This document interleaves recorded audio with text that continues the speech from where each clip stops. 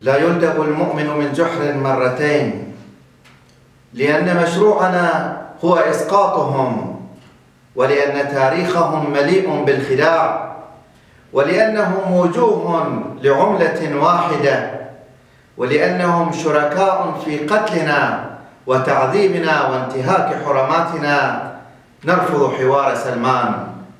لن نقبل ببقائهم وسنقتلعهم من أرضنا. لن نحاورهم بل سنسقطهم. كفانا خيانة كفانا مهانة بقاؤهم بعد كل هذه الجرائم عار علينا.